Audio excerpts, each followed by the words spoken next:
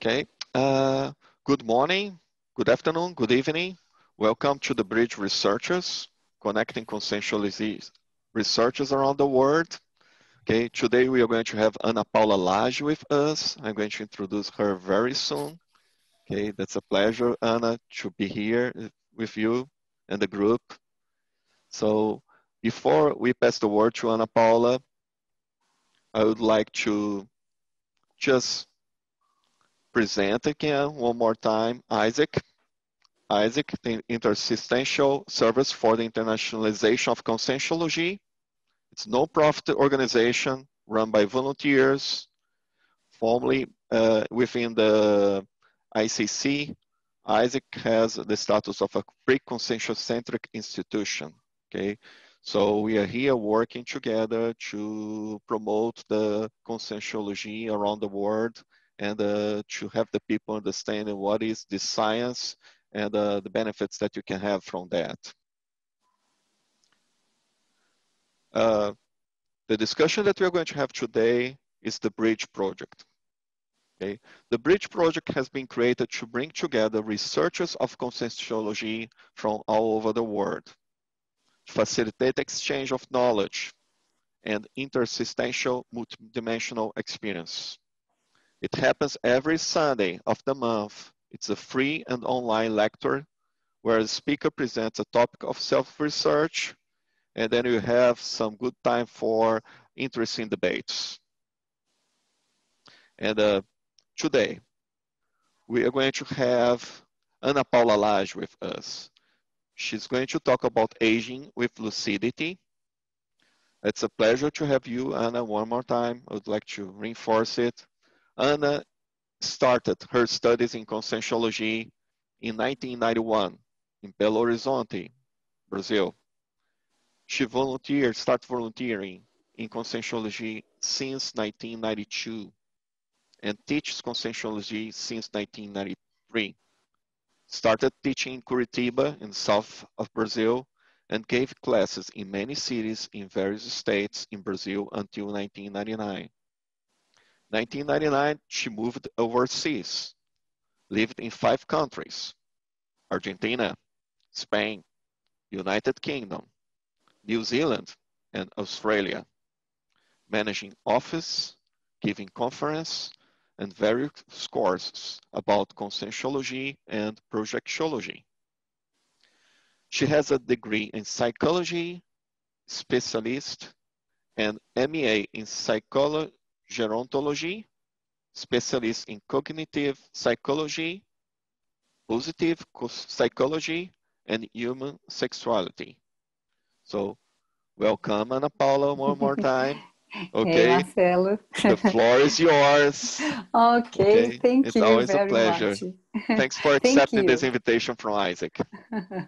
uh, thank you very much. For me, it's a pleasure being able to be here and talk about this subject um, I really uh, would like to thank you and thank you for the participants, the people that uh, took the time to stop and listen uh, such a subject, which uh, is some kind of neglected in our intraphysical life. No, nobody wants to talk about aging. Nobody wants to talk about longevity. Uh, maybe because it's close to death, I suppose. But anyway, let's start. Um, before I start, let me uh, introduce you and explain why and uh, I got the interest to study this subject. Um, I've been exposed past uh, 15 years. I've been working in different uh, uh, settings and um, and I was exposed to aging population. In the last 10 years, I worked uh, in a company and I was able, I, I had the opportunity to see and to follow the transitions that people had from workplace to a retirement experience. And uh, it was quite painful for, for everyone, you know, from the psychological point of view. Um, usually the companies, they have a, a, a, plan and they, they introduce the person to the transition uh, financially, uh, but they don't introduce the person to the new world that they will have uh, a life. Uh, so when I look at that, I thought, ah, I needed to get better and understand those aspects. And that's why I went to study. And also I have my mother, she's very, she's 83 and uh, it's inevitable when you start to have parents and uh, a family close family and uh, you can see they, they are going through the process of aging it's inevitable you think about this aging and how to deal with those aspects inevitably your own age and that's uh, another interesting as well uh, i start to think uh, okay, uh, I have a long way to go and I want to live longer. So how am I going to optimize my intraphysical opportunity, my intraphysical life? Okay. So first of all, um, I would like to ask you guys, uh, we uh, reinforce in our work in conscientiology projectiology the principle of disbelief. So this principle is do not believe in anything, experiment, have your own experience it's very important that you keep your critical sense. What I'm going to say here is a result of lots of reading, uh, lots of research, uh, reflection, but uh, in, in any way, it's uh, uh, absolute truth uh, or the, the end of analogy. I think this subject or any other subject has always room to grow, to develop more, and um, to look from different perspectives. So uh, it's very important the critical sense. Now, do not believe in anything. The books, the uh, papers, uh, they accept anything. So it's uh, uh, keep your critical sense, right? So let's start then talking about. Uh, um, are you, Marcelo? Are you changing the? I'm sorry. Yep. Yes. Okay, so okay, um, I'm gonna look in here. Okay. So um, uh, before the, I start introduce this one, we're to be talking about from a paradigm, consciential, um, consciential paradigm, which means the way we are seeing uh, the event of aging is taking into account that we are consciousness in evolution and we are temporarily in a physical body, but we have other bodies where we can manifest. And actually, the body that ages is our physical body. It's the tip of the iceberg uh, it's the body that we deal in our day-to-day life, but um, it's influenced by all the other bodies as well. So we usually say it's the tip, the iceberg, because the way we are performing with this physical body in our day-to-day life can show our attributes or our qualifications or our weak traits and the strong traits in dealing with the organization of physical life okay and we're going to see that when we talk about aging, uh, it's inevitable event. We all gonna age. Uh, the difference it is how we gonna get to this uh, time, uh, which is inevitable in our evolution, no? And how we gonna die as well. In here, I decided not to focus so much in that because we're gonna have Anna next uh, in our next lecture. She's gonna be talking about the desoma and the process of dying and uh, so on and I found that I, I will get to up to that point.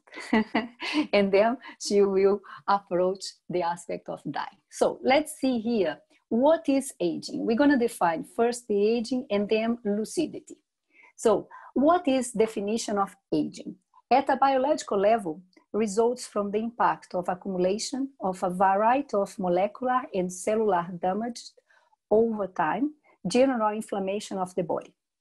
This leads to a gradual decrease in physical and mental capacity, a growing risk for disease, and ultimately death.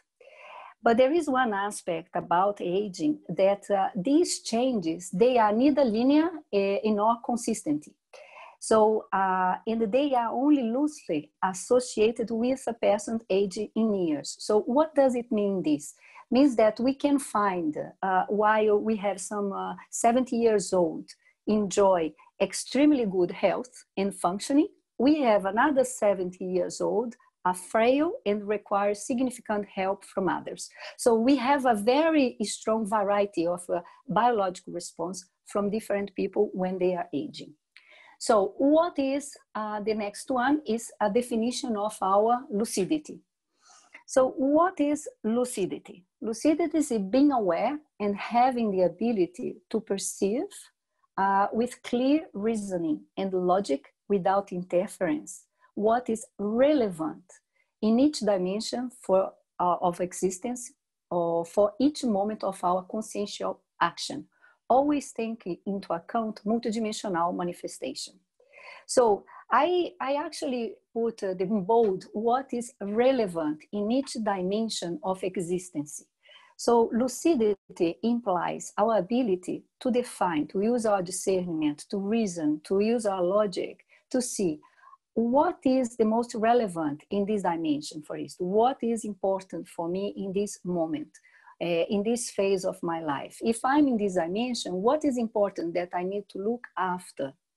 If I'm going another dimension, I have a, a projection of consciousness, uh, I have lucidity when I understand how I use, how can I use this body? How can I perform my, my, my manifestation out of my body? Which attributes can I enhance to um, increase the experience that I'm having, the quality of that experience. And uh, it, when we talk about the, the aging, lucid aging means uh, how can we, from the day we were born, because one of the things we're gonna see, we don't, we don't age uh, from one day to another. It's actually a natural process that occurs from the day we were born. Uh, and uh, at around 26 years old, we have an invasion of the energy. Instead, the energy come towards our physical body, then we start to go towards our multidimensional bodies. And that's when we start to uh, actually losing, you no, and aging, in a sense, our physical body.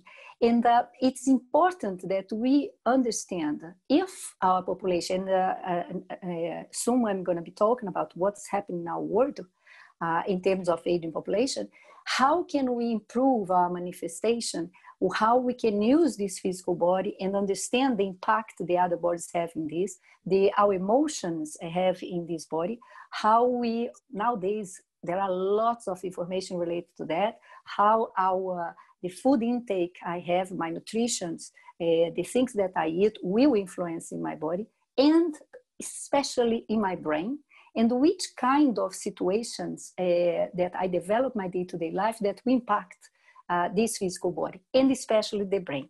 Why we talk about the brain? Because the brain it's um, is the most noble organ we have in our physical body. So we are gonna age, and the longevity it's interesting, it's it's great, but what the quality of this longevity is going to be defined for the level of our cognitive attributes, the use of physical body, muscular, uh, muscular response, but also our, uh, our brain, our ability to uh, memory, our memory, our cognition fu functions, um, our ability to reflect or to discern, uh, to change, no? Uh, to not get stagnated thinking that it's one way of living. So all this will influence how we're going to be aging. So why it's important then we study aging from this point of view. No, we're going to see that um, when we talk about Marcelo, importance of aging. Okay, so um, why it's important uh, the study of aging? From a personal point of view uh, uh if Anna, we, please. Every time that you you want to move to the next slide? Okay we love to hear you. Just let me know that you want to go to the last slide. oh, right. next slide. Okay i'm so sorry. We, we should have organized that before. I'm so sorry. No worries. It's all right. It's all right. Thank you so much. So well okay importance of a aging study why it's important for us to study uh, one thing is we all gonna age uh, if we don't die before our 70s or 80s anyway, we all we are aging. And it's not only aging, we want to have longevity with quality of life, so productivity. And uh, how can we optimize this experience, having many lives in one life? Uh, we studied in conscientiology, you know, that um, we have evolutionary uh, experience and we were born and uh, we have an experience and then we have to die and we go to astrophysical dimension then we return uh, and uh, we have an intraphysical life and the reason we, why we have an intraphysical life is to work towards uh, improve our manifestation work with our trace through the control of our uh, our bodies and also uh, through the use of our energies and the cosmoethics, no, and the interassistency. So imagine if we have in one period of life, let's see, 100 years old, uh, I'm not joking about this because it seems uh, that we have already a person that's going to live 160 years old, according to science. I'm not sure, but uh, they say we have already those consciousness that has reborn. Uh, so, and imagine we can use this time intraphysically where we have a physical body, we receive a physical body, and uh, we are actually familiar with this intraphysical body, and we can optimize our existence. And we have many experiences uh, within this intraphysical life, taking advantage of the opportunity to be with a group, with uh, consciousness that uh, we had this um, encounter with them, and uh, and optimize our own traits, develop skills, and change even our temperament throughout our experiences yeah? is staying in our physical body. So uh, this is why it's so important to study uh, aging. And we're going to see that um, uh, the study of age started in 1982 and since then there are lots of researches. They developed uh, uh, the world uh, world organization health organization the united nations all these organizations are putting lots of pressure and improve the quality of uh, aging uh, because it's a very important thing for our planet. And so it's a reality that is we're gonna live, people around us gonna live, and we're gonna work in the max mechanism of interassistancy. We need to understand what's happened with the person uh, that is going through the process of aging. Uh, despite that we think we know, it seems that we don't know, and science is trying to explain more and more from different point of views. And, uh, and we have, it's, uh, it's actually an unprecedented event that humanity is having. And so the max mechanism of interassistancy, it's very important because we want to assist those consciousness, no matter where they are, uh, in order to help those consciousness to have really a good intraphysical and productive life, but also to have a productive extra-physical uh, time as well. When they leave this body uh, detach it from this life and start uh, opportunity to live a life which is more productive. And uh, so uh, good. So let's see. Uh, saying that uh, what we have here, the age in the world. Okay, so as I said, 1982, there were lots of uh, investment and uh, start to study uh, about aging. And, and what's happened with our population in general between 2015 and 2050, that's a projection, a proportion. We're gonna have a proportion of the world's population over 60 years will nearly double uh, from 12% to 22%. So, which means that in 2050, 8% of old people will be living in low and middle income countries. It's interesting we think about this because it's across the board. It's not a privilege only from USA or the, the countries that are more economically developed. Uh, no, we have an increase in the population all around the world and, uh, and the pace of population age is much faster than in the past. And it's very interesting uh, data uh, that I got, which I found fascinating. It is that Brazil, uh, France, uh, uh, it's actually took 100 years for France to deal with those changes. So it's a, a very steady pace.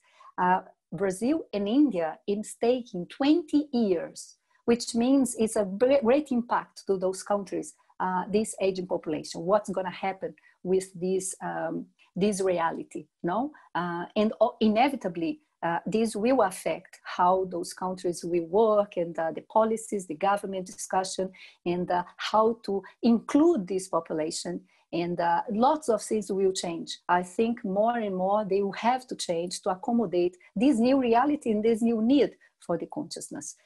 So why this population actually uh, increase? What's happened uh, around the world that uh, contribute for this um, expectancy of life, life expectancy increase? No. So first was a decline from high to low fertility. Then instead increase in the life expectancy at birth uh, and at old age. And a shift, that's the important thing. There were a shift in the leading causes of death and illnesses from infectious and parasite uh, disease to non-communicable disease and chronic conditions. What does it mean? Uh, because of the technology, health technology, the improvement of our hygiene, uh, and also the campaign of vac- vaccinations uh, that was done throughout the globe, uh, the illnesses, the nature of illnesses changed. So we don't have more people having parasite disease or infectious disease. Now we have people develop a, kind, a, a different kind of uh, disease, uh, which is um, uh, like the non-communicable disease. What are the non-communicable disease? So they are a disease, disease that the person will have a long duration um, and are the result of a combination of genetic, physiological, environmental, and behavior factors. So these non-communicable disease, they are actually disease that uh, they, they are not passed on the other person. We develop those illnesses as a result of our genetic, our physiological, physiological, environmental, and behavior factors. So those are the ones. Cancer, no, the cardiovascular disease, uh, it's one. Um, cancer, cancers, chronic respiratory disease, and diabetes. So those uh, illnesses, they have been uh, the increase, no, the manifestation of uh, those non-communicable disease throughout the those last years or now people. And just for data here, non-communicable disease, they kill 41 million people each year, equivalent to 7 to 1 of all the death globally. And almost three quarters of uh, the non-communicable disease and 82% of the 16 million people who died prematurely uh, or before reach 70 years old, uh, they occur in low and middle income countries. So we're going to see that uh, it's quite a, an impact in those um, uh, countries. And also in different uh, in countries that are not the, the low income but uh, nowadays you see lots of campaign people talking about those diseases in order to decrease uh, the, the, the occurrence of this. But i would like to call your attention for the aspect that genetic physiological environment and behavioral factors. So there is a component of us taking part of uh, uh, improve our condition in order to not have those, uh, to a certain extent, manifest uh, these illnesses. No, but when when we talk about the aging, actually the chronic, you know, the uh, illnesses that are associated with aging, uh, we have some illnesses that can appear as a result of uh, the body aging.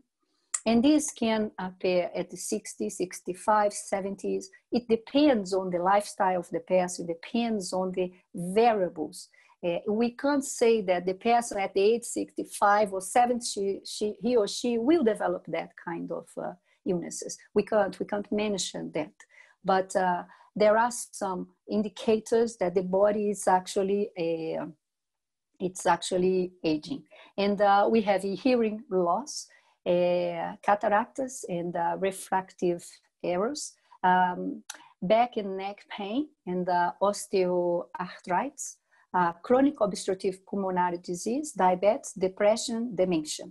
Dementia uh, is one of the most uh, well-known It's Alzheimer. There are lots of studies uh, now focus in the Alzheimer because we have a great percentage of population in the projections that can develop Alzheimer and uh, already lots of already has those dementia and the Alzheimer's. So it's, um, but we're gonna see there are uh, many research that shows partially it's actually uh, related to genetic, but partially it is the lifestyle. So uh, we show here the, the some of those illnesses that the person can develop, but uh, when we go further, uh, if you see uh, what is the result of those research that has been they are carrying on now with um, in related to to to the healthy now aging and uh, what was actually found out it was genetically the influence our genetic is 20%. Uh, before people would think that uh, I'm going to have this disease because my mom or my dad or my grandma developed that disease. Uh, it's genetic. So um, it's not 20%. And then we have physical and social environments. Uh, and we're going to see how the physical environments where we are can influence uh, the quality of our aging and the personal characteristics such as sex, ethnic, or uh, economic status, um, and uh, personality.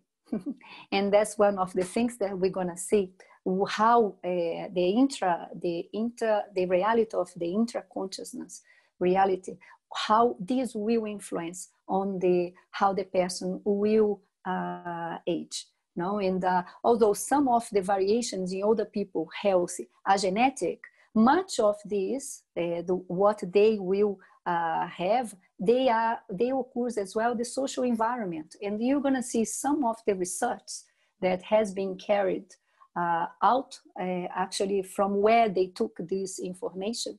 As I said, there are many uh, research, but these three stands out for me in a way that we can actually present here uh, and have an idea um, what is that has been said or in, investigated, no, in a sense, about uh, these um, this experience. So the first one is this the Danish. Uh, I'm gonna get here the information about the Danish. Okay. So this, because I have some data which is important for us to understand. So the Danish twin study was uh, carried in 1999. And the objective of this study was to uh, the relative influence of genetic and environment factors on self-rated health and hospitalization pattern in the elderly. So they wanted to see how much uh, the, the fact that the person get to the hospital was because of the uh, genetic influence or the environment. So they got, uh, they, they've done a survey among 3,099 Danish twins, aged 75 years old and older, and they were identified uh, in the Danish twin register. And uh, what they found from this study, it's uh, actually that the influence uh, on the person's health was uh, based on 20% genetic. That's what I said before. So uh, they observed that approximately a quarter of the variation in the liability to self-reported health and the number of hospitalization could, could be attributed to genetic factors but very, uh, very small in a sense to, of what they were expecting. Okay, and uh, this shows a little bit, and now it's one reference that uh, yes, uh, lifestyle then and uh, what we said before, the environment where the person lives, the condition where the person lives will influence on the quality of the age the person has. And then we have another one was Dan Buettner. It's the zone, uh, the blue zone. If you want, uh, there is a book if you want to read about this.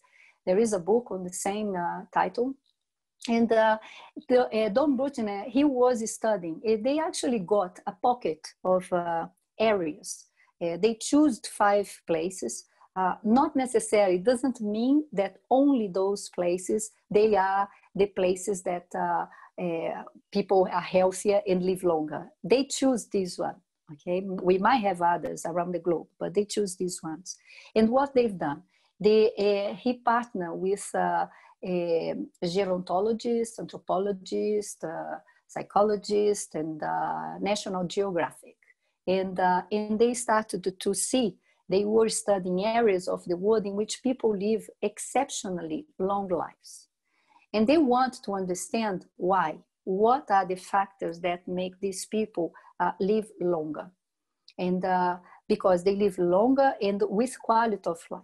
Okay what are the places? Ikaria in greece. It's an island in greece. The other one was ogliastra in sardinia it was uh, in, in Italy, no? And then the other one was Okinawa in Japan. Uh, Nicoya Peninsula in Costa Rica. a community, the Seventh Day Adventist in Loma Linda, California. So they got those places and they went there and see what do they do that help them to have um, um, a long, longer life. So these places, what they saw, uh, they live 90 and 100 uh, years old. You, you see lots of centenarians in these uh, inactive ones, not inactive ones. Okay, so people are all very ingrained in what they, they are doing there.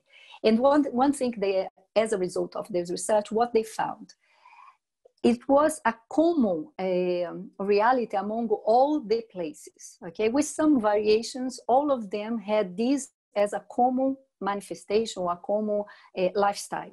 One, they move naturally. They move all the time. They go gardening. Uh, they have. Uh, they doing housework. Uh, they walk. They they have the, in their lifestyle. It's always incorporate the physical activity.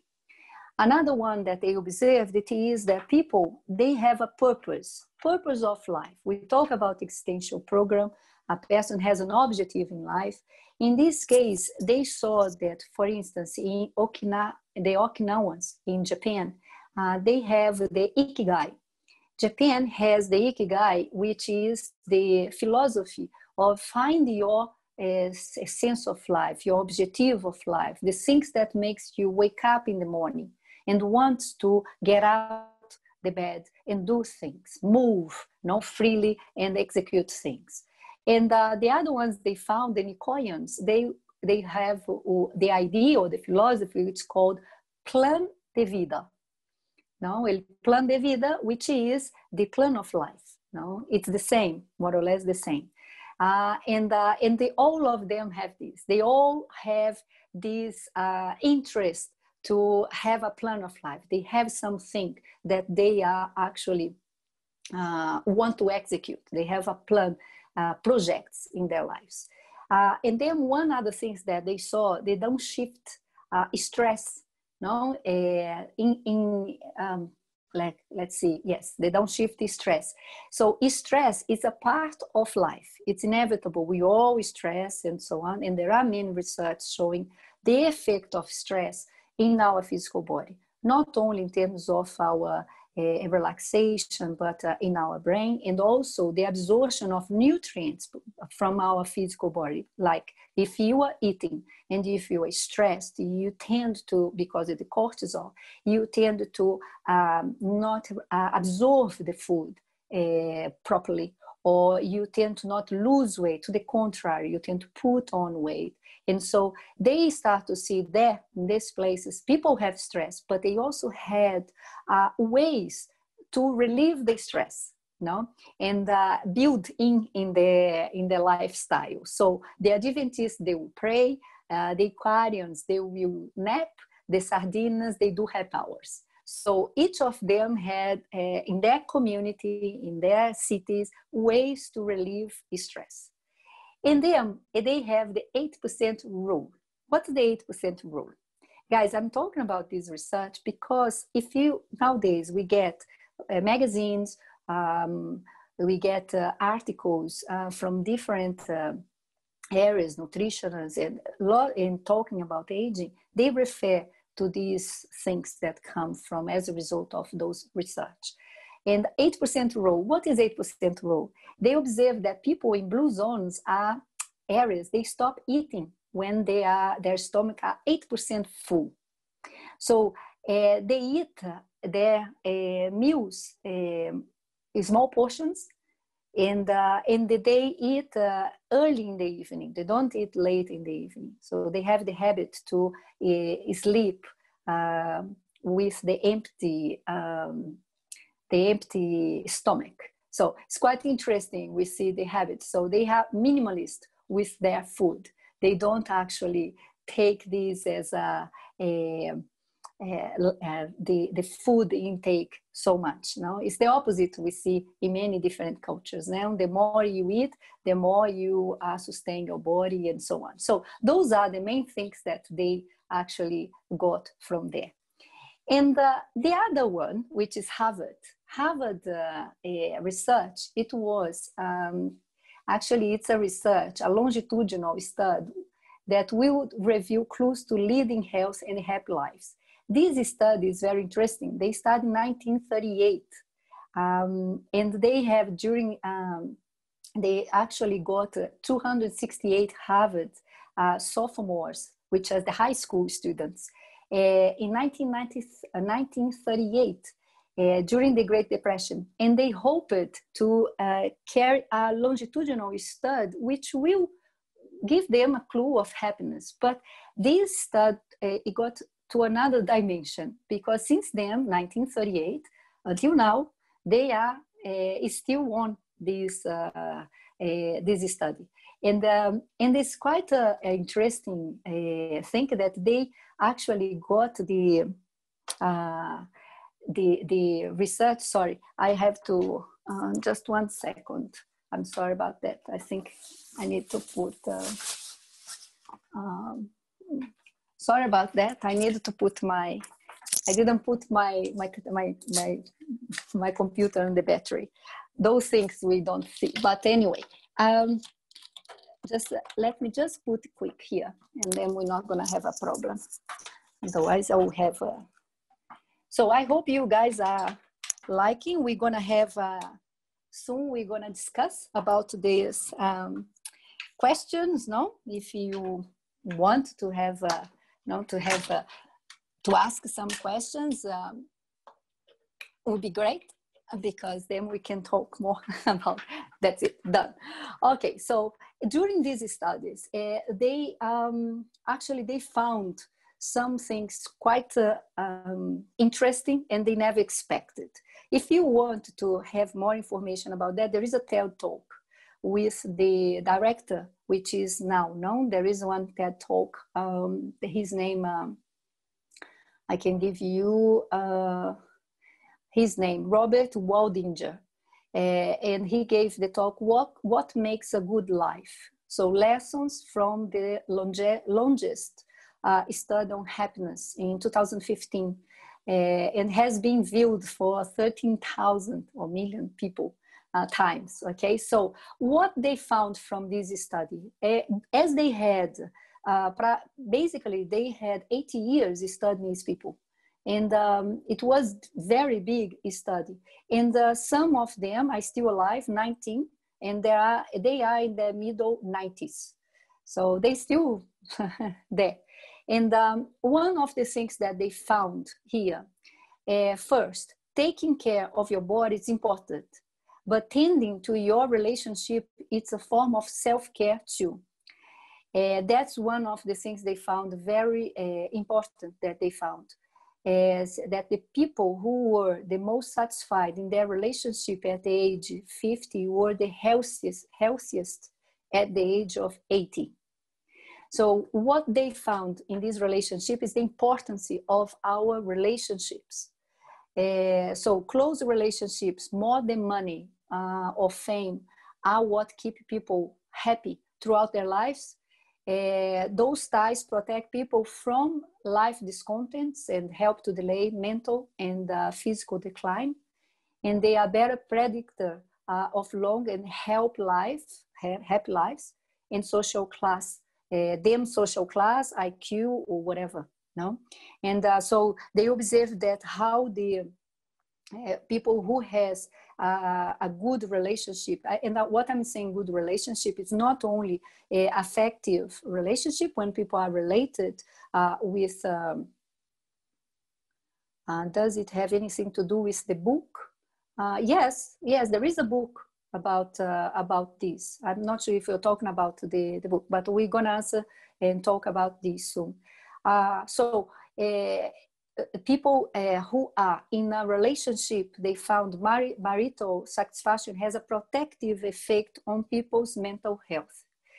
And um, those who um, Ah, yes, that's the one. Exactly. Yes, that's the book. That's his, book. He's published as a result of this um, uh, uh, this research.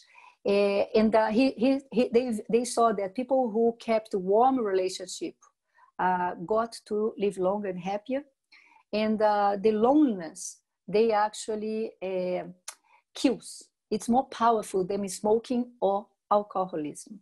So these uh, results that they got here uh, they found one interesting thing as well, which is some of um, our octogenarian couples, uh, they could bicker, no, they could fight with each other, but they had that uh, bond with each other, that tie with each other, which was characterized. I know I can count on this person, and that feeling of know you can count with the person, having that friendship that you trust, uh, that person you can count on, that person that is there for you. This is what makes people uh, healthier and when they are aging. That's what they saw here.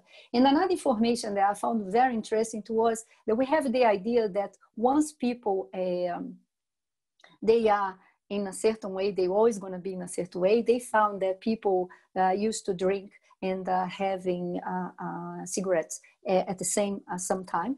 And uh, at the age of 60s or 40s, they changed their those habits.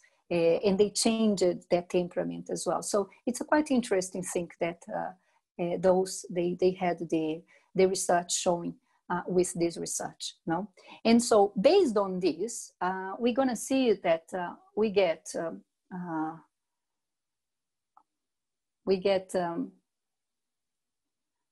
some of the aspects. No, this research actually it's getting us uh, to understand a little bit more of uh, the aging reality, no? And uh, but when it comes to study aging or longevity, uh, there are four aspects that is quite uh, tricky. And uh, what are those aspects? No, first, to, first one is the diversity in older age. We have all sorts of people, all sorts of aging process. As I said before, we have a 80 years old who is very active, is still carrying on with physical activity, uh, intellectual activity, uh, and we have an example. No, we have an example in our study in conscientiology in our CCCI uh, of uh, Professor Waldo himself, and we have other teachers in that active mentally, uh, physically, and they are doing what they need to do. Uh, very different from other people like Sometimes you can see people at their 20s or 40s, they are already with uh, diabetes, coronary disease, and the things that uh, they octogenarian it doesn't have yet. So uh, this variety uh, of study of uh, aging, uh, it actually brings certain challenge because you need to adequate the needs that people have and also how you look those people no uh, and we're going to see that this will influence the way we think about aging. And this is one of the most important things when it comes to having lucidity about aging no then the health inequities. So we have a diversity uh, of um, um, people with different health problems and we have uh, lots of physical and social environments that will impact differently uh, the way that the person develop their illnesses.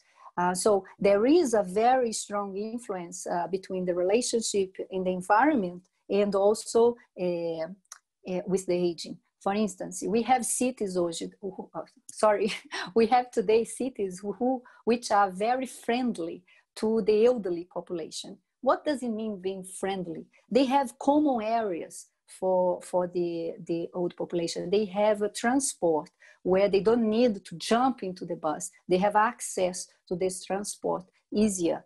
Uh, they have a, a, system of transportation or they have a, a, um, a function in the city that attends, uh, it gives them autonomy and mobility.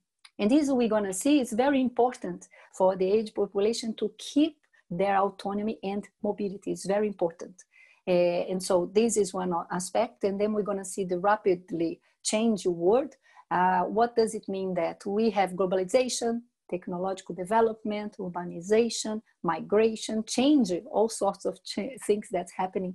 And this is changing the structure in the family, uh, the structure how people live together or not, uh, the gender differentiation before um, few years, or in some countries still is like this, but it's changing.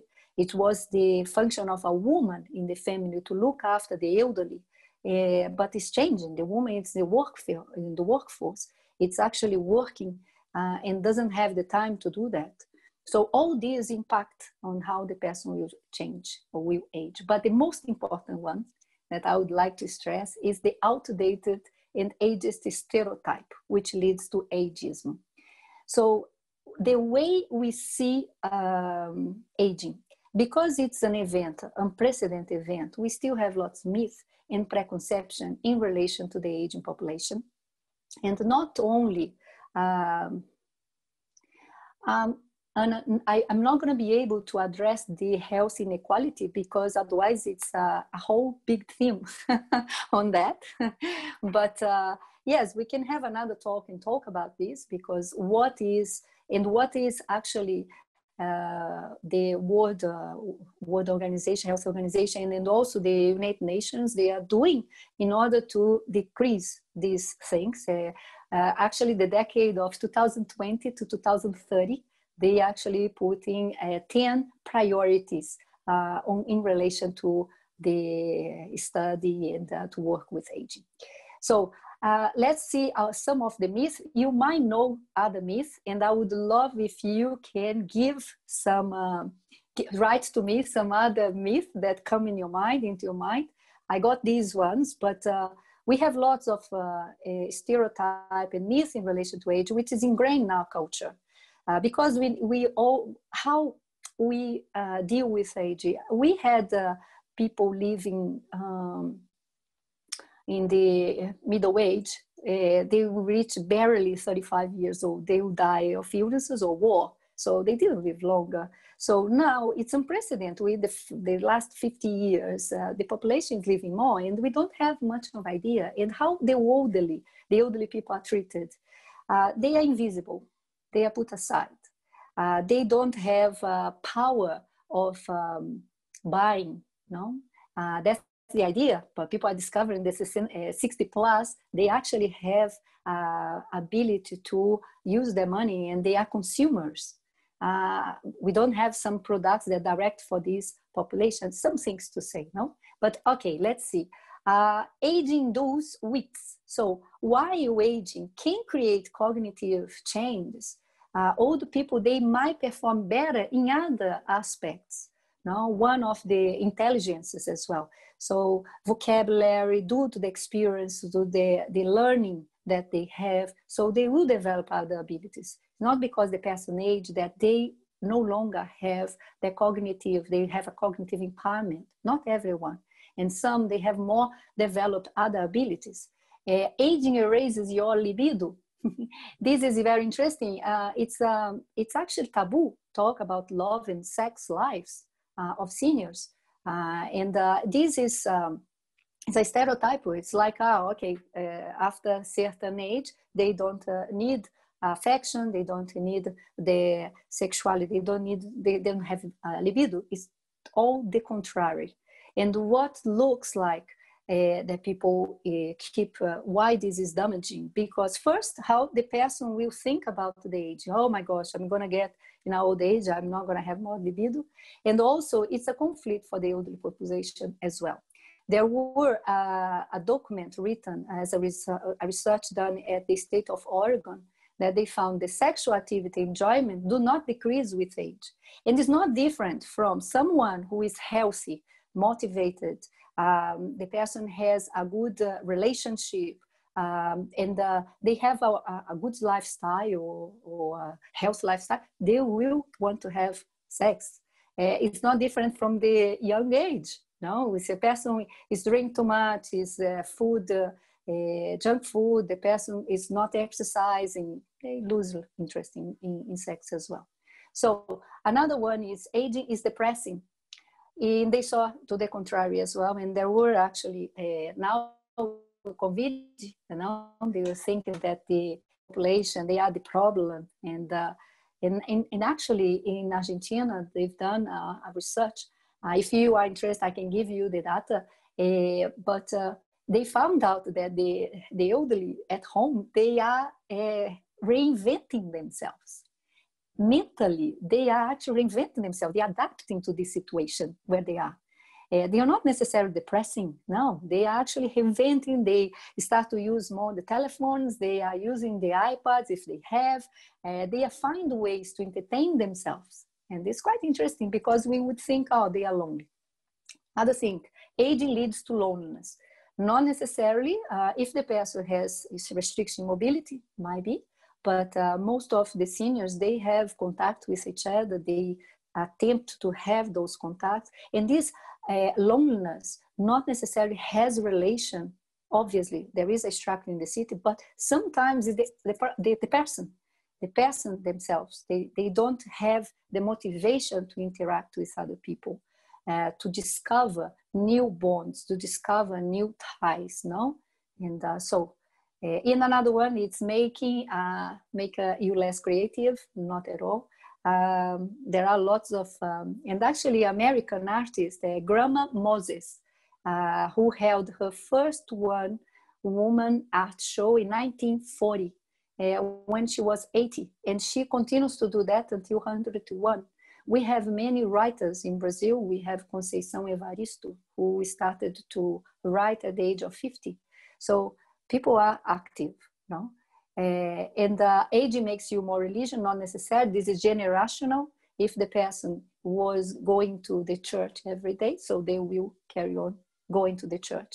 Age, age makes you uh, unable to adapt to new situations. I saw before we talked about this. No, adapt to new situations is an ability that uh, obviously the, the more the person has experience, more flexible. If they are flexible, they will probably will be able to adapt. Uh, and the last one, but not least, aging makes you unproductive. This is a system, not necessarily. Exactly, exactly. So all these myths and stereotypes, they actually are in, uh, influenced by the culture where the person is.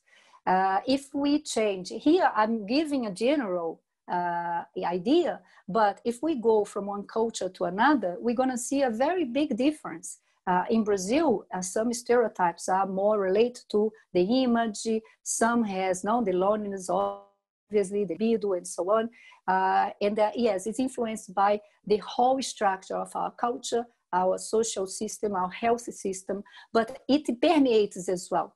So sometimes uh, the ageism actually create the preconception, and people actually uh, they are harmful. They, they actually very harmful for the elderly uh, for the elderly population. Why? They feel excluded. And uh, why it's so important to study these things? Because first, how we gonna age define um, will be defined by how we think about aging.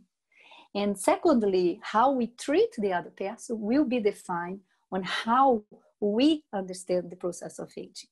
Now we can look at the other person and see, oh, you are uh, old whingy, uh, stop whingy, uh, you are gaga. Uh, I don't know how to translate this in English, but you know, you are crook. I don't know the word, but uh, the person is old and talk too much, and it's nothing like this. It's individual. Ah, and there is another one. You age and you turn into child. Since when? when you're going to waste that experience the person had in life and turn them into a child never no uh, we need to remember and uh, i think this is uh, that's why i put uh, uh, the next uh, here um, let's see here we need yes we need to understand due to our diversity social cultural diversity our the places, the culture where we are, our conditions, social cultural conditions, and also how we ourselves deal with our lives, we reflect that we have several aging styles. No, and I put here uh, we have a lady in India uh, learning to deal with a computer and we have the Africans in the community. We have maybe in America or Sweden or all them studying in a, in a library with the computer. We have a group here of uh, the aging, uh, the elderly with tattoos, no? And they, they've done. And what's happened is, no? They could have had illnesses. Yes, I'm going to talk about this very soon. Uh, and then we have people very active. Uh, in here, the base here on your left, it's a lady, she is 117 years old. Uh, there is two photos. There are two photos of her. Uh, one that's young and she's older. She's Japanese. Uh, she's 116. So you have here the affection and so on. And then the uh, in the next one, you're gonna see the next uh, uh, part other types of aging as well. Now you're gonna see the people at the long-term uh, long-term residence. And we have here, this I suppose is a type of uh, a type of uh, community, no, a residence that they are developing now, which has a different uh, structure. It's uh, common now in Danish. Uh, some, some countries, they are developing this. It's quite interesting. And then you see here the lady, she's playing guitar and uh, her daughter or her grandma, gra- uh, granddaughter is doing the swing. And uh, and I couldn't uh, leave the baiana no with uh, they usually have this great smile and they dance and do the acarajé and uh, so why I'm putting this? Because we need to understand that people are singular. Uh, there is no mass, massified response on aging. When we deal with a person that's aging, we need to put that understand that aspect. Uh, okay, so um, eh, and uh, let's uh, yes. So uh, and then with this uh, stereotype, we talked about this. No, uh, we overlook it for employment. They are restricted from social service. stereotype in the media. Age is marginalized and exclude old people in their community. We have a big example of ageism when in Italy, in Europe, they had to choose between an older elderly person or a young person to live. Uh, this was terrible because you see who you're gonna how you're gonna make this choice now you play god in a very discriminative way to a certain extent no? And this is important we talk about this because these actually contribute uh, it's harmful effect for the person no and um, sometimes, because of this, people don't include the aging population. And if we are aged, the better place for us to age is close to the like-minded, close to the people that uh, uh, we have things in common, and where we feel safe, we feel respected, we feel included, and uh, and with ageism, it, this doesn't happen. In cultures, there are cultures that has more conscious this, and other cultures not at all. Uh, sometimes they call the, the elderly, oh, uh, grandma or grandpa. No, you have one grandma. you know, people think, ah, it's nice, but it's not. You have in front of you someone that has an experience and how you treat that person with dignity. You know? And uh, it's actually within the human rights you know, to give that person dignity and autonomy to live. Okay, so uh, I'm uh, old gizzards. Ah, that's another word. Ah, I'm gonna take these these words, which is quite uh, eh, it's it, uh, diminished, di, diminished. Uh, they diminish. They put that person down. No, it's quite a bully. No, the meaning exactly. Thank you. Uh, yes, the Western culture has this focus. Soon we're gonna see what happened with the other side. Okay, so let's, uh, we're gonna talk, uh, this, um, this I'm gonna put here, it's a list where um, it's something that we've been studying, I've been studying. The person that developed this idea is Graciela Zarebski. Uh, she actually uh, brought this, the aging, uh, the protective aging factor. Uh, this ha has relation with our interconscientiality, postures that we can develop that will protect us from uh, an aging uh, where we're going to have lots of mental problems or uh, we actually anticipate our death. Okay, so will, willingness, willingness to change. So the past is open to change. They, they actually open to the idea of changing, uh, to live uh, new things, to experience new things. And this can start from, uh, I always bought bread in this place. Okay, let's try to buy bread in another place. All these we're gonna see will work and help the plasticity of our brain. The brain plasticity has relation with uh, the ability that we heal our own brain, non the flexibility. And this shows in how we act uh, towards think. Another one, self-care questioning. Uh, the person being able to question themselves and to question their project, their goals. If something didn't happen from one point, we'll grab from another point, you know. Uh, uh, having flexibility to question themselves and see, okay, um, uh, I have this project, but how can I adapt? Maybe you won't be able to do right now. Uh, I, I, can change. I can uh, observe my own limitations and so on. And then we have capacity of self-inquiry, reflection, and waiting. This has relation of uh, it's related to self-question, but it's actually being able to come out from that position that we had throughout our life, kind of a ego. I am the judge or I am a model, or I've been, I am, a, the person has that position. And uh, with aging, we things will change. Uh, we're gonna have to change some of the the manifestations we have, and so this ability to question ourselves and that idea, I am I am, no, uh, and having more flexibility in this way. This will help. Psychic wealth and creativity uh, having internal world, which means uh, to deal with the situations, have creativity to uh, deal with a loss, to have uh, creativity to deal with some of the impairments that inevitably people gonna gonna have. This will help, like dealing with the losses, living the loss, but at but inside having that capacity to um, turn that in favor of one no? Uh, then the empty losses and compensation with profit. What is this?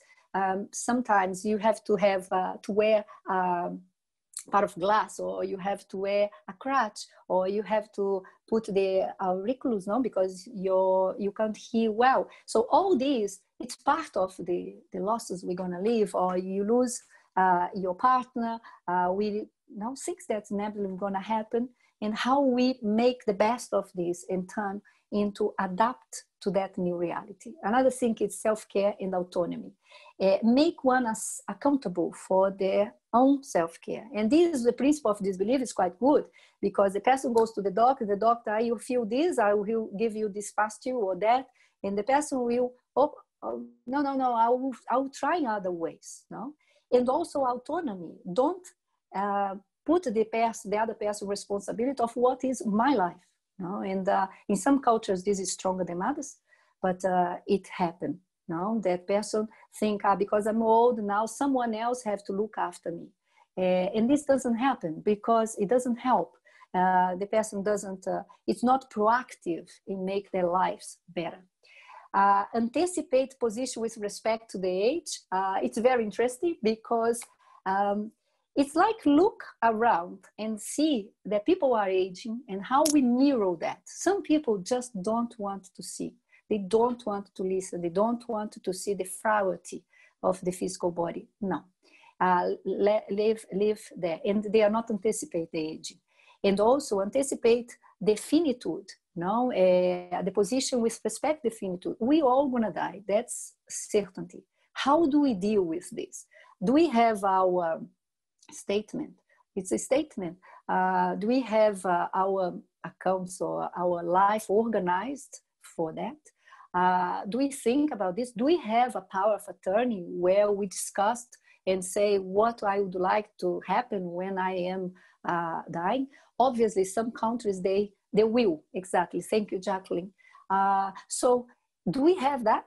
In place? Do we have you have we show, uh, talked with our family what we want to happen with our body? We donate uh, what we're going to do no? Advanced directives exactly. Do we have that in place? So this is actually anticipate with respect to our finitude. Intergeneral times what does it mean do I have a good relationship with people younger than me, or do I think that I, I don't have anything in common with these people? What I'm gonna learn from them, or what they're gonna relate to me? Intergenerational ties, it helps us to rejuvenate and to keep uh, alive, motivated, refreshed in our approach towards life. Do we have a diversification of ties and the interest, which means, uh, do I have only my husband or my partner uh, my, my husband or my wife that I relate and I rely, or I have a, a range of friends, from all different backgrounds, and I exercise this affection from different uh, uh, perspectives, no? Uh, the diversity uh, of uh, relations that will enrich even my psychic wealth, no, my affectivity and so on. Interest, or do I have how, how many things do I have as a hobby, or things that I like to do, or things that I I'm tight on, no, to to like to develop and so on. And uh, so this is one thing I passed uh, quick, but maybe in another talk we can talk more about this. That's the base of the work I'm doing. Uh, that's how we work with people. But just to finish here, I have a special interest in Japan, uh, especially because of the aging population. I've been there a few times, and uh, Japan, um, it's the nowadays it's the country with the greatest number of uh, centenarians. And uh, I, they apart from Ikigai, they have this wabi sabi, which is a Japanese philosophy and uh, I think this plays a big role on how they deal with aging and how they do deal with life in general. So wabi sabi, it's a way of living that focus on finding beauty within the imperfections of um, of life and accepting peacefully uh, the natural cycle of growth and decay. So uh, this you see here, the side here we have. Uh, uh, actually it's art um, that they called, uh, um, let me see here the name, Kintsugi art. The Kintsugi art, it is, they have actually, it's, a, it's the representation of this philosophy. What I'm talking about this philosophy is kind of uh, superficial because uh, despite that I've read, there are some things that uh, uh, you need, it's ingrained in the culture, you need to understand more. But basically it is the example here. It's um uh, it's a creativity based on the wabi-sabi and where there is a cracked pottery and is filled with gold dusted lacquer as a way to showcase the beauty of its age and damage rather than hiding it it's it's the principle of what is all about wasabi so wabi express the part of simplicity impermanence, flaws, and imperfection. And Sabi displays and express the effect that time has on a substance uh, or any object. So together, Wabi Sabi embrace the idea of an aesthetic appreciation of aging, flaws, and the beauty of the effect of time and imperfections. It's all about build uh, it's uh, actually accepting yourself and building on what you already have in life so that's if you understand in terms of aging so you value what you have in your life you just rebuild some things you just make some different projects some different choices you reinvent yourself uh, in wasabi they actually prizes authenticity it's different kind of looking no a different kind of mindset uh, it's the true acceptance of find beauty in things as they are. Very different. Someone talked about the Western and uh, Eastern society. It's very different. Uh, here we wanted to hide uh, everything that is uh, not beautiful. Now we age, the wrinkles. We wanted to go and uh, do a plastic surgery. We wanted to hide everything that remind us remotely that we're getting older. And that is different. No? And so this, uh, just then for us to finish uh, our presentation, Professor Waldo talked about uh, the lucidity, self-lucidity, uh, and uh, I think is that the important thing. Um, the lucid aging uh, is, it is, um, one more, the lucid aging, it is not a common disease and even a early desoma. But for the self-organized intraphysical consciousness, can be the best phase of their human existence. The self-lucidity is the essence of well, wealth, uh, well-being. So uh, I actually showed that in the, I think self-lucidity, it's uh, based on our ability to have discernment and to question our own absolute truth uh, and focus and here now multidimensionally.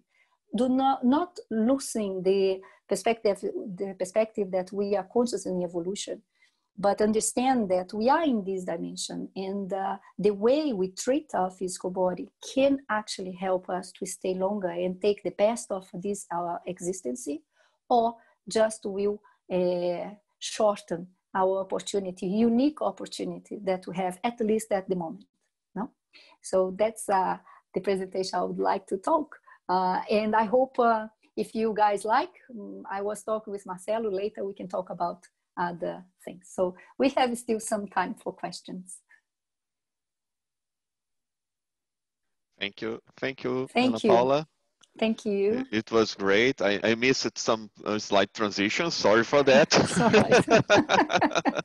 but let, let's open for the questions from the group. Okay, We had a couple great, of them during great. the meeting on the chat, but uh, Uh-huh. feel free to open your microphone and uh, just yeah, the uh, comments. Uh, yes, yeah, any comments, everything. questions. Any comment, questions, everything. The- yeah. the the one thing that I'd like to to mention before going to the next question it's about I think that there is a special meaning on this self lucidity uh, definition from Dr. Waldo because it was from 2014 Mhm. okay his desoma was in 2015 so he was the example that we can be productive and uh, creative and uh, working with the assistance towards the end i think that's uh, it's uh, again uh, going through the example And uh, also, he is a strong advocate for about the health of physical body. I remember in the 90s, um, now Professor Waldo is talking about the walk uh, uh, treadmills, uh, the juices, and uh, you know that we, you should take the multivitamin. Uh, so he always put his attention in this aspect. Anna asked to retrieve some slide. Is this one?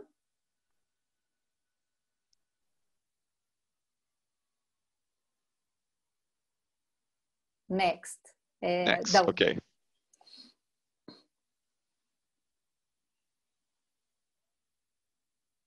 this one Yes, I suppose. Is this one? Anna? Yes.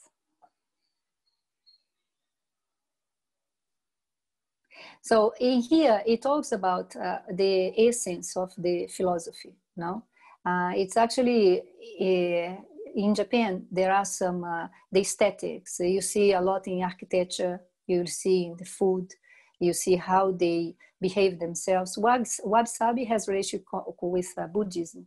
Uh, so, but uh, how they implement this in their day-to-day life, it's amazing. It's uh, uh, there are gardens that they have such a simplicity. They are extremely complex in how they build the garden, but um, they present as very simple. There are some architectures, some temples. They are extremely simple but extremely complex.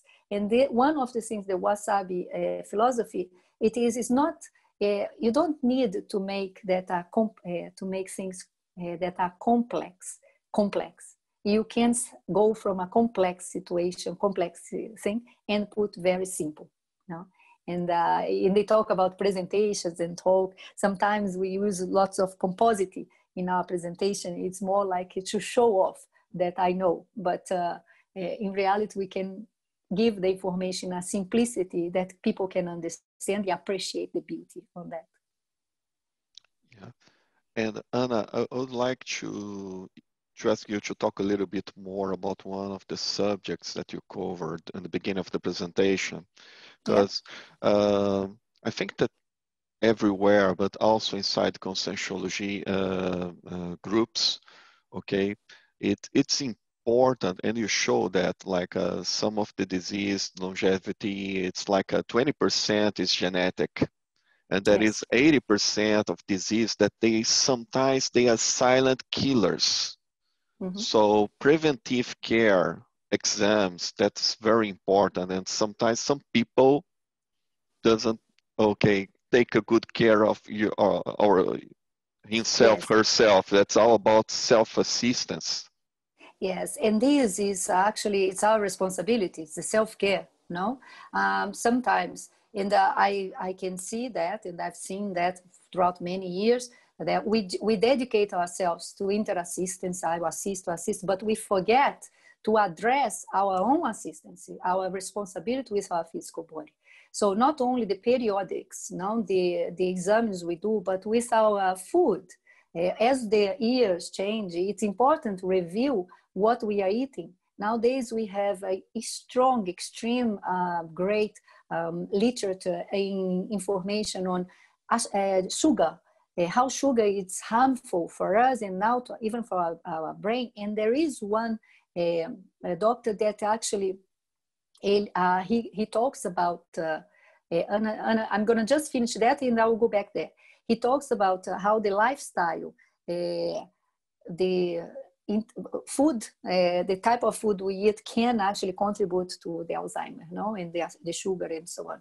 And I agree with you. I think it's it's a responsibility that we have. It's ours to keep ourselves uh, healthier, motivated, even with the energy. If I am ill, if I uh, am not eating well, if I have a sectarian, uh, sectarian, if I don't exercise, I'm overweight. Sedentary. Uh, yep. Sedentary life, exactly. Sec- sectarian as well. It contributes the same way to the illness. but, but uh, if I have uh, this situation, what's happened? I'm going to prevent myself to be uh, to perform uh, in an assistential activity. You know? And so we can't, uh, and this is, uh, I think, to a certain extent, is passed on religion aspect because uh, it's a sacrifice of ourselves that comes with purity. But now we can't deal with this. It's, it's our responsibility to deal with our body and not sacrifice our physical body uh, in name to do the assistance because otherwise we're not going to have energy to do this and perform in a good way. So preventive, uh, and you see, uh, you got it very interesting because those are illnesses that you can prevent. You can prevent. Unless you are in a very poor country that you don't have resource, you can't have the doctor, no, the bad doctor there, you can, unless you are in this situation. But nowadays we can prevent this. Uh, and it's our responsibility. No? And uh, the periodics, uh, go to a nutritionist, go to a physiotherapist, uh, we are having some problem pain our pain is natural no it's not it's the way that the body is telling you there is something need to be done with our physical body you no? and so this is something that it's important what you say yes uh, Anna, she actually she asked something. Yes, how do you contrast the wabi-sabi philo philosophy with the concept of uh, energetic rubbish? Okay, okay, excellent. Uh, energetic rubbish. It's uh, what is energetic rubbish? It's when we hold objects that are unnecessary. No, the wabi-sabi actually uh, puts the minimalism. If you go to places in Japan, it's very rare you're going to see uh, places cluttered, cluttered and full of stuff. They have the necessary thing that they need to use, and this is probably based on that. They have the philosophy of minimalism uh, the energetic trash, it's actually can be a holder for us. There are some people due to the tra uh, tra uh, tra traumas that they have throughout their lives, they develop what we call the holders. They actually hold objects. Uh, they hold uh, not only objects, but they hold memories. They hold, and there is a, book, a great book on, on that, which is the Antibagulismo Energético de Katia Arakaki, uh, it, it's very interesting because when I talk about aging and I think about age, I think about that book. Uh, it's a clean, it's a clean for our own holothosene, our own uh, ideas, the object that's no longer necessary, having a house that it is what we need to have there. And Anna, what's up, Wabi-sabi, it's actually talk about this. You have a garden uh, based on this philosophy, it has the essential aesthetically. You look, it looks uh, empty, but it's not. It has the essential for the aesthetic, for appreciate that uh, environment, and they take this to their home. No, you the Japanese people they have uh, their home very organized, optimized, practical, uh, it's not a, a house like um, lots of Americans, I think, have like this, but it's not privilege of Americans, uh, Australians, and they have their house full of stuff. Uh, so no, not at all. Okay, especially war. Yes, the war, Melanie. Yes, the war. It's uh, traumatic, uh, the traumas that they have, war, uh, big losses, no, that they have. Uh, this uh, makes people hold people that had uh, participate at the Second World War, but not necessarily they went to the war, but they suffer the consequence of war. Some people start to hold, hold. They they they fear hunger, they fear lose things, but deep inside, it's emotional thing. No, it's a kind of holding memories or energies that the person needs to uh, survival. No, and uh, when we talk about the aging, it's important we apply the simplicity, the minimalism, we let it go, uh, being able to disattach from material things and also from our physical body. No, because if we talk about multidimensionality, there are people that they die, but they still carry on linked with their body. Here we see ah, uh, someone, uh, Marcelo, someone uh, made a comment. I think was Anna. Yes, it was Anna. Here we see holders like no other countries. Yes, yes. And uh, we see in America as well uh, overweight people. No, despite that we have so many information, we have overweighted people there as well. And so this uh, it shows uh, a pathology in the society because when it happens, these things, the the capitalism plays a big role. The marketing, obviously, because works with what people uh, their needs, their deep needs, and so people are more vulnerable to that. And uh, you see uh, the food, no, you you you buy the less you buy, the more you eat and it's the opposite of uh, what asab, wasabi is. Wasabi it's a philosophy that the less, it's more. Not the more is less. Uh, it's less, it's more. Less food, it's all right. The less uh, things you have in your right, it's all right. The less clothing, stuff you have, it's better. No? And so it is something that we see uh, and in, in relation to the aging, the longer the person is, is in this condition, in some cases, they have a high level of anxiety and uh, they need to go through um, a, therapy and uh, assisted or even medication. But uh, I like to study hold, but in, in degrees up to us, what we hold, what are the things that we don't let it go now, even studying conscientiology, projectiology, we study, we apply this in our lives, but what we are still holding? What are the memories? What are the emotions we still hold? What are the objects we hold that could be passed on? Uh, and what website they, tro- they talk about is you pass on what you have. The object has a function. You, you are grateful to that. And once they don't no longer have a use, you pass on. No? And we should do that with the body, no uh, now no longer what can i donate and uh, and go and move on uh, and sometimes won't happen that people get stuck yeah and uh, Ana Paula we have another comment here from Anna Yogan that it's uh, it was left behind nowadays aging is related with epigenetics interaction between genetics environment and lifestyle and, yes. and then the late introduced the idea of para-epigenetics in his recent course, Paragenetics.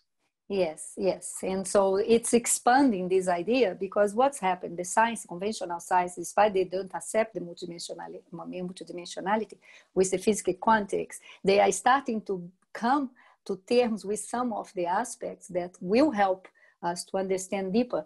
And uh, these uh, things I exposed here, we still have lots of things to um, to research uh, in conscientiology. We need to research the process of aging. I think uh, this will change. I'm, I'm actually starting to flying around, but uh, will change the concept of our intensive course, the time and everything will change.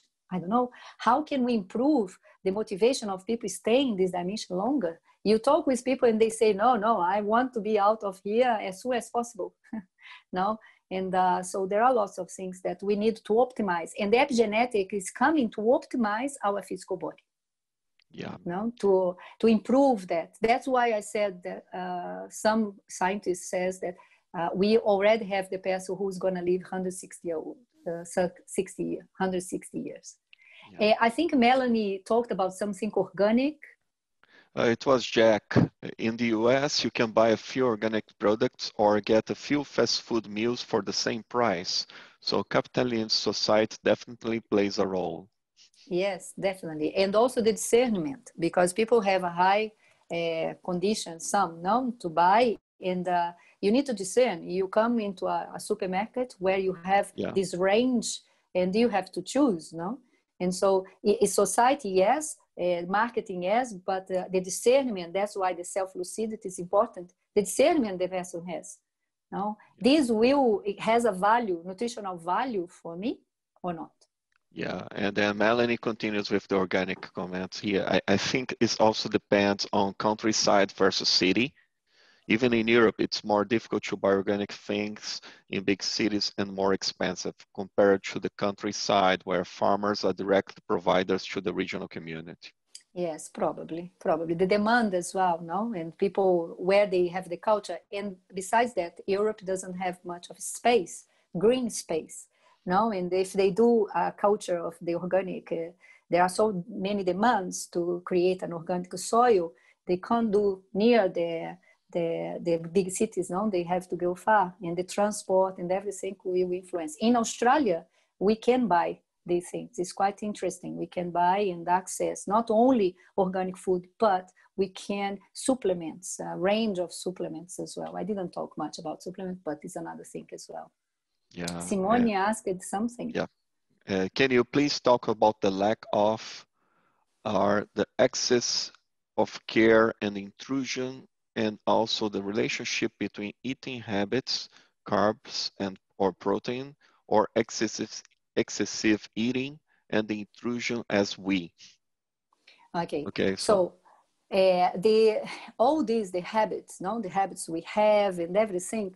Uh, as well. It's defined as well. Yeah, uh, we define by ourselves. We have the habits, and it's defined by who we are and everything.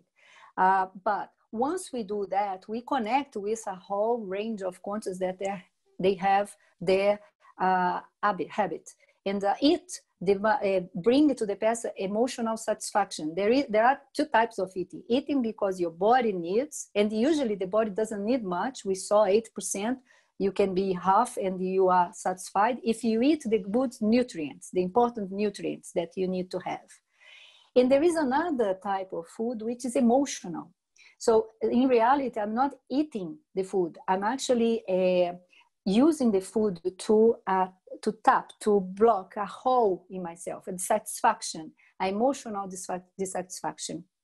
And in this case, that can lead to uh, self-intrusion. It's a self-intrusion that leads, uh, feel a void. Is that exactly, Anna? Uh, you feel a void. You actually want to feel something there or rejection or abandon, whatever it is that in your intraconscientiality is there. And it's automatic. You go, it's anxiety. You go automatic. So you attract consciousness to you that has the same pattern. And you, are going to carry on doing that. It can be with alcohol, it can be with the food, it can be with the chocolate, which becomes an addiction, uh, and carbohydrates. So when we eat carbohydrate, there are some uh, uh, neurochemical activities in our body that the more you eat carbohydrate, they turn into a sugar, the more you want to eat. And so you actually create in your body the, that lack or that need in your body as well. And so you start to have more need to eat uh, better. Uh, in terms of diet, protein, nowadays there are a variety. What I think is each person needs to see what is the best for me. A quantity of food, uh, now talks a lot about uh, fasting, intermittent fasting. The person needs to see, is that all right for me and so on, but always using the critical sense because it's not because one uh, diet it's good for everybody, it's good for me. Uh, I react personally, I react better when I eat certain kind of uh, protein in a certain time. I can see, I can hear my body do uh, you know you are relate with your body you see that uh, carbohydrate I, I can see how they uh, alter my digestion and uh, uh, i feel more sleep i don't think much but a food uh, just finish here no a balanced nutrition where we have all the micronutrients necessary for our body, where we balance our bowels, uh, we have our microbiotic uh, in our intestine uh, balanced. This will help us associate with physical activity uh, and so on. This will help us to have more energy in our manifestation with our body and to have more uh, muscles or lose the weight that extra. And one more thing, just to finish, we live in a dimension that uh, it's an energetic dimension, denser, which leads us to inertia. Is if our body already has the inertia, which means we are we don't eat, we are couch potato, no? We sit there and uh, we eat on one side and look at television the other. Uh, this it's it's actually abort the possibility of having a healthy body to do the task we need to do.